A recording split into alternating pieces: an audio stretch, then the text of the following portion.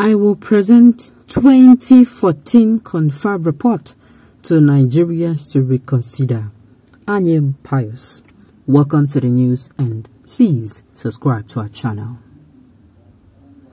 The former Senate president also said that he was open to having a woman as running mate. A presidential aspirant of the People's Democratic Party, PDP, Anyim Pius Anyim, on Friday said that if elected president, he would represent the 2014 National Conference report to Nigerians for possible review and implementation.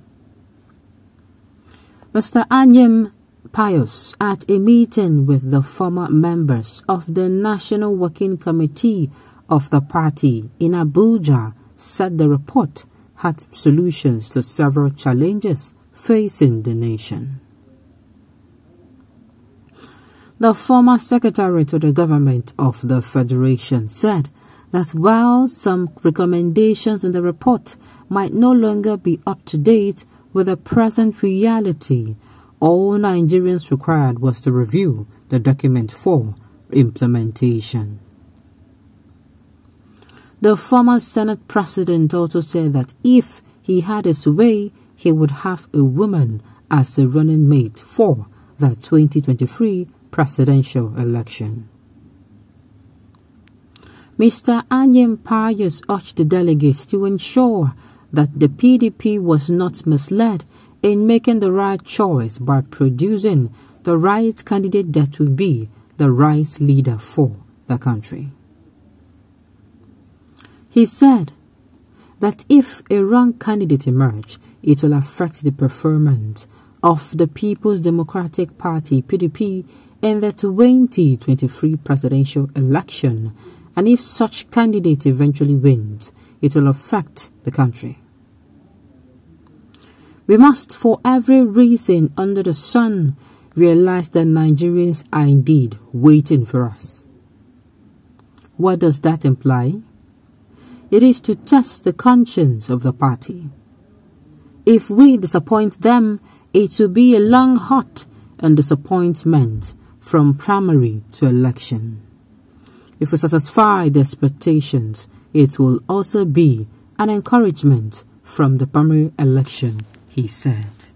Okay, just as we just as we um, already know, a whole lot is going on and these people they're almost using us to play. The APC, we can see how they are using Nigerians. They are doing movie for us. They are releasing episode by episode of movies. And uh, we are here watching them. They release episode 1 today, we'll watch. They release episode 2. They have released and released at the point where Jonathan is now almost at the picture. And we'll keep watching this movie. Now, Anyim Pius Anyim, just like every other presidential candidate, is coming out to say, I am sorry, oh, maybe he might mean it, but sincerely, you're not going to blame us. Nigerian, Nigerian politicians have broken Nigerians' heart. They have broken the delegates' heart not once, not twice.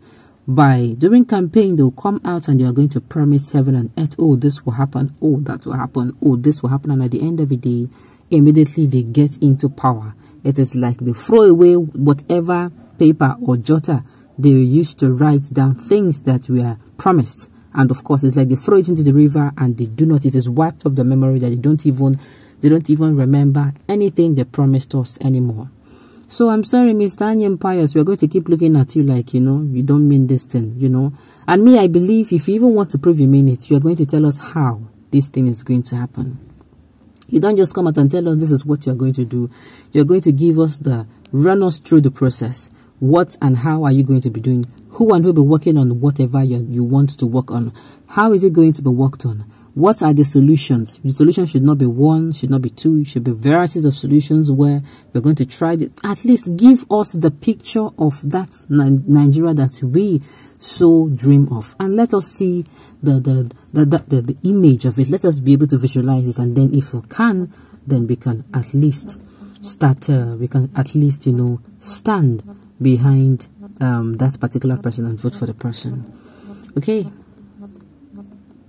I'll listen to you whenever you allow commercial banks build and start operation in your mining rich community, Ishiagu, Ebonyi State instead of going to neighboring states like Imo to carry out banking transactions. Hmm. Okay. Okay. I don't think you really want to be the president. How can you use the 2014 confab for your campaign? Something you should know better than us that the North will not welcome it. Hmm. Okay. Uh, okay. Northern politicians will face sharing. In all of this, let's forget all the gas that are going on. Let's not forget that 2023 is a year we cannot afford to mess with. No matter how you are playing with it, no matter how you have been somebody who have been voting for pocket infrastructure and stomach infrastructure, 2023 is a year that is very peculiar. We will not have a year like 2023 again. Why? Because we stand to do a lot of things that if we miss doing now, it is going to be a whole lot of problems. To do them as in we must not, we cannot afford not to do them now. We cannot afford not to do them now. Else, there'll be problems. Else, there'll be problems. And it is not going to be nice. We should come together pick a candidate, even though I know that as the day goes by, things are being done. See all those things happening now. A lot of things are happening, a lot of religion issues, a lot of um, ethnic issues are making us to be divided more than ever. See, sometimes I feel that like these things are orchestrated, as in they are strategically planned to happen, and so that we are going to be further divided, so that we will not be able to make a decision that is going to favor us. I keep saying, as disunited as we are, we cannot go forward. There is no how the North cannot be better alone. The South cannot be better alone. It is not, there is no way it is possible. We can only be better together, and it is only possible if we're united. It is only possible if we can look beyond our ethnicity, our tribalism, our, our religious bigotry. So yes, it is only when I see your problem as my problem, and we know that, okay, this is our, common problem, and we'll start looking for a collective solution. That is when we are going to be able to solve our problem. Else, we're just going to be here, you know, blowing baby grammar. And these people, they will just keep throwing things that will further disunite us. And during, doing the election, they're going to